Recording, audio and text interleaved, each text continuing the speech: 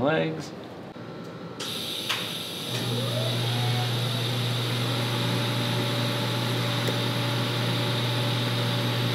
It is finally time to have a control center, a place for me to push buttons and them not fall off or be zip tied. This is the center of the car, the, the heart of being able to turn it off when shit gets weird. And it starts with this little guy. As you've seen it, it's been just zip tied into where the head unit for a sound system would be on an FD. We're gonna continue keeping it in that spot, but we're actually gonna make a panel that then is tacked to the chassis so I can mash those buttons when I lose my race. Down here is a 80 thousandths thick piece of metal. We will then drill holes for the mounting tabs and clearancing stuff like this out. We have the manual mill for this because there we have the DRO, digital readout, and as we move it, obviously, it changes numbers. We're just gonna blast through it pretty, pretty quickly. So the outer edge of each of these, just shy of three inches find the measurement of one of these, zero it out, you measure the total, 2.68 inches, and that's the distance between the center of holes.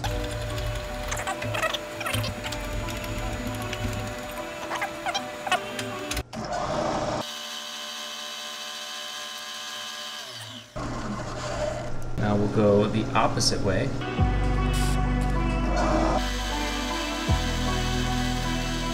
Now we've got both of those done, we're gonna swap drill bits out.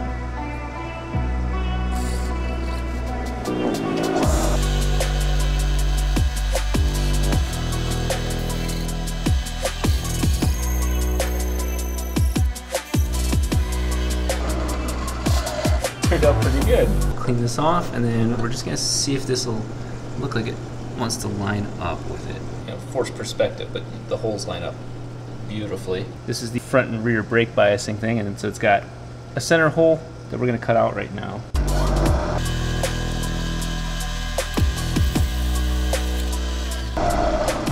Love the smell of the wood. Mm.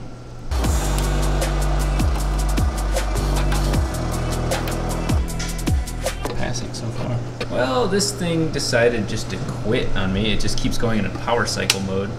You think it's good for a second. You're like, yeah, cool. Perfect. And then it wigs out. There we go. Thank you. Show the audience that I'm not crazy. Cool. So, yeah. It's got me doing mental math.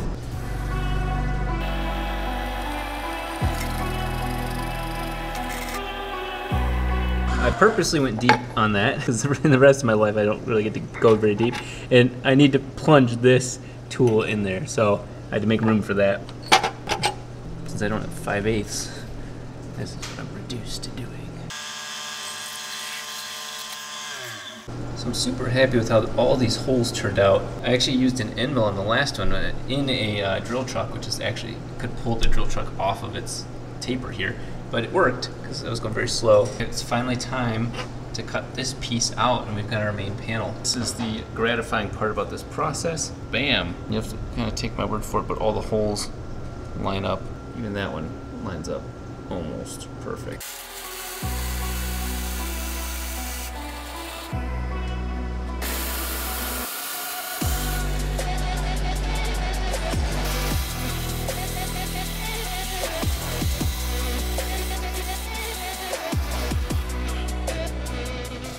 Put it in the billet polishing machine and there you go. Maybe adjusting this little knob when I think it's my brakes when it really is my driving skill. And then this one I just want to make sure it's running. That's the water pump and I can adjust that center knob if I'm doing diagnostics, but really I'm not going to be doing much with those. I just don't like them flopping around. I'm also going to need to add this push button and this really it's a really nice quality knob. Those are going to go somewhere on this plate as well, maybe in this bottom corner. So it'll be USB, USB, all-wheel drive on-off, all-wheel drive adjustment. This one is just like the other two USB ports. That one's easy. It's this one. See that little that little knob or the little hook right there? I'm gonna drill a little hole for that so that way once it's in, you don't spin this and this whole thing spins when it loosens and then now you don't know what percentage is what.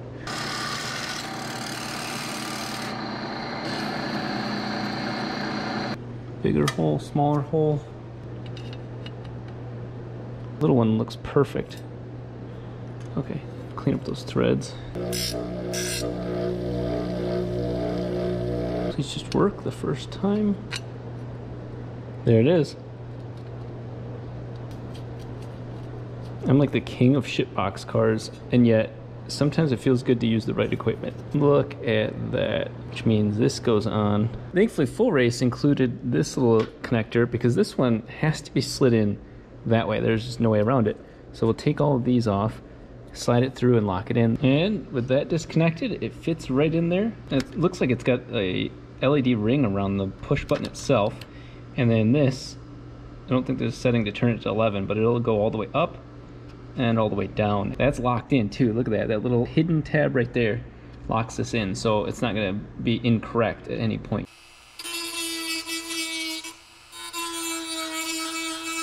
So with this the way it is, we're definitely going to have to trim this piece more. We're trying to figure out where, because right now that's sitting off a little bit. So that gives us kind of an idea of where this is going to be. I think we'll cut up. That way it's not in this crotch. It's it's sitting up higher in the middle where we're going to hit it. It gives us room for gauges too if we ever go for something up here that works. We won't cut that until we bend this. Somewhere. This might be good, might not be good. Just shy of five, just shy of five. Let's hope I measured right. Certainly going to prevent it from flexing as much. So that'll help, like I said, with some rigidity. I want to mount this in a way that I'm sitting here and I push this that force is going to go that way. At least be one mount coming from that side of the car to this. Shy of five, just shy of five. Yeah.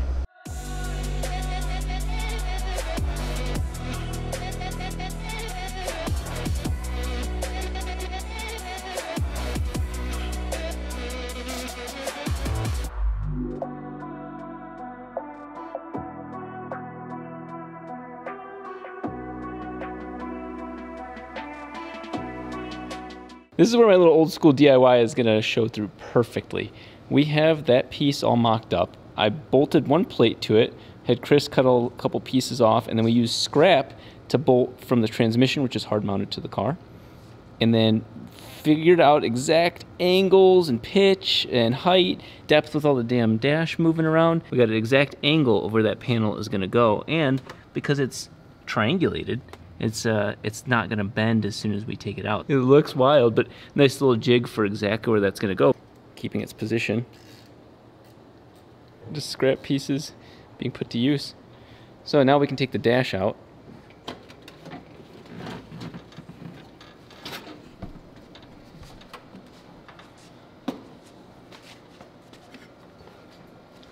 Okay.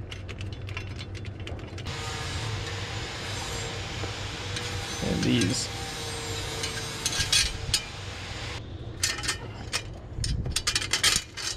Not only are we using this jig to prevent us from moving it too much, but we're also using it so that way when it welds in on the backside, it doesn't start to pull away or do something stupid like that. That's what feels right right there. Got my shifter. I'm gonna need to get Isaiah to give me it back is I have my Rogue Fab tube bender.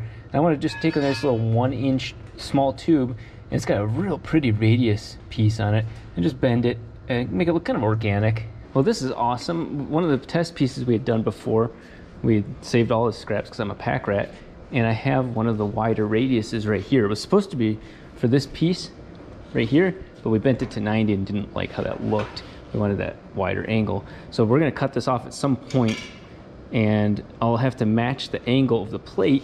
It'll end up being something like this and we'll we'll get this to look to look good.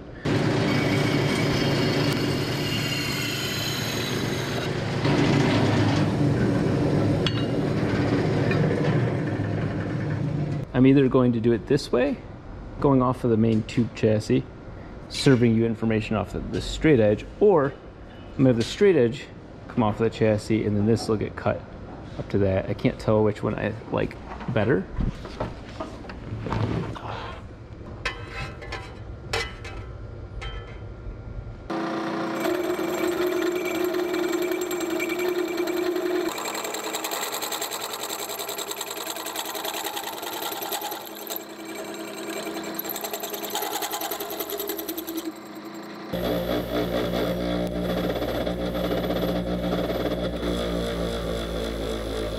With this notched and cleaned up, it actually turned out pretty good. 95% where I wanted it.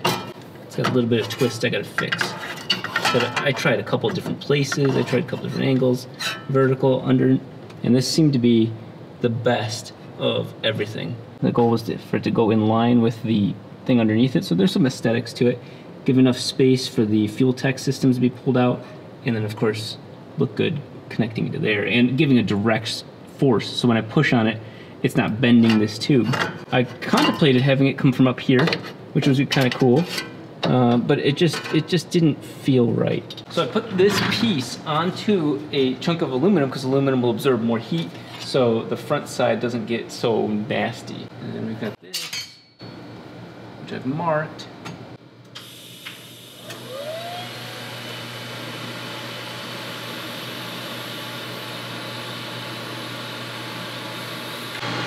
You can see it's still. Let's see how it fits in the car.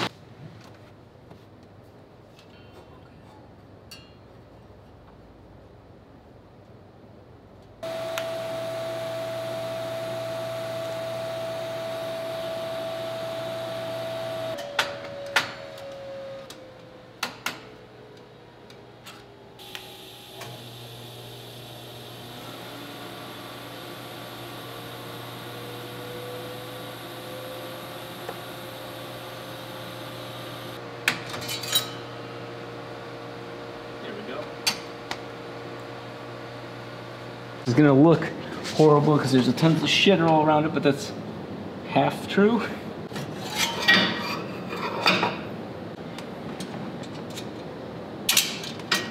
There it is.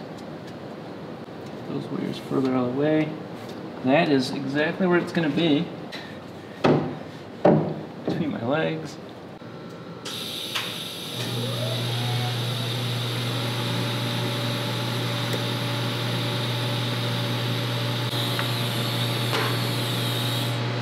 Oh, cool.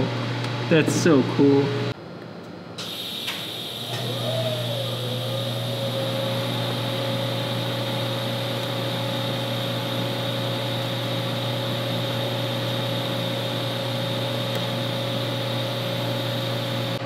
So, so happy with how that turned out. I could keep going, but I'm gonna let it, I'm gonna let it cool down. But look at that. There's my my very first uh, solid weld with my knees. I'm just so happy with how that turned out. You know, nothing's ever perfect, but for doing that with my knees, uh, you know, as you saw earlier, and holding that heat, I don't know, I'm really happy. 'cause This is all my car. I welded all the way around this side and tacked one on the back side, but I'm gonna have to pull the car apart and have it up on a lift to finish the rest. But I wanna see this side.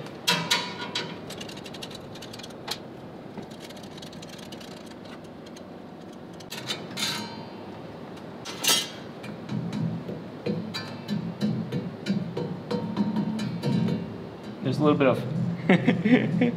I can fix that a little bit. I should have. Uh, I should have dimple dyed these. I didn't think about this one. Should have definitely been dimple dyed, and it would have prevented that completely. But once they're bolted in, it's gonna stay in the spot it's at right now. I made sure this mount was still underneath the keypad a little bit, so when you press the keypad, the bolt that's right next to this. I mean, that's That's exciting. That is so exciting. You guys don't know how exciting it is for this to be doing this myself. Whatever, three in the morning, but I can do it. Feels good.